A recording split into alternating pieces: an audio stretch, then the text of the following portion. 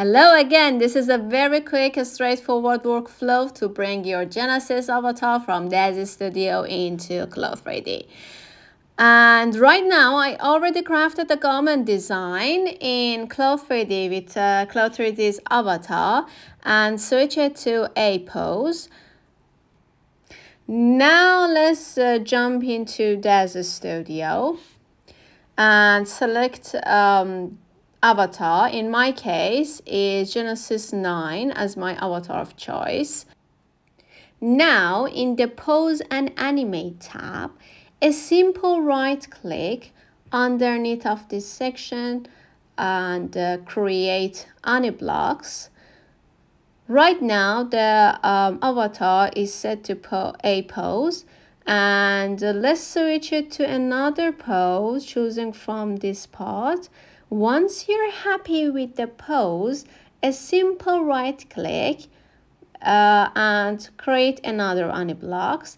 The one thing you need to uh, focus on is to um, Aniblocks be in order because uh, it should always A pose and T pose should be first and then your desired uh, pose should be next.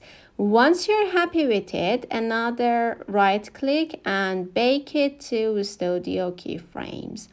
Once you've done this, there's no way back. Now navigate to File and export, export as an FBX file.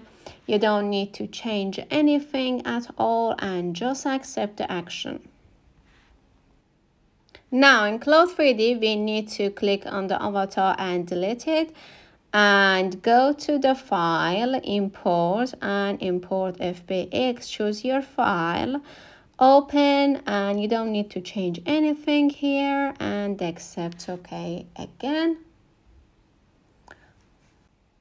Now you need to focus on the avatar size and the garment and organize all the garments what i do is um, to set the shoulder and then focus on the front section and back section.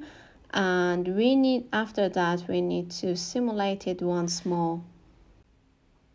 After simulation we need to head over to animation tab underneath of the simulation and uh, set everything to uh, stable and let's simulate the animation see what's going on with the pose and here you go. Hope you like it and happy designing.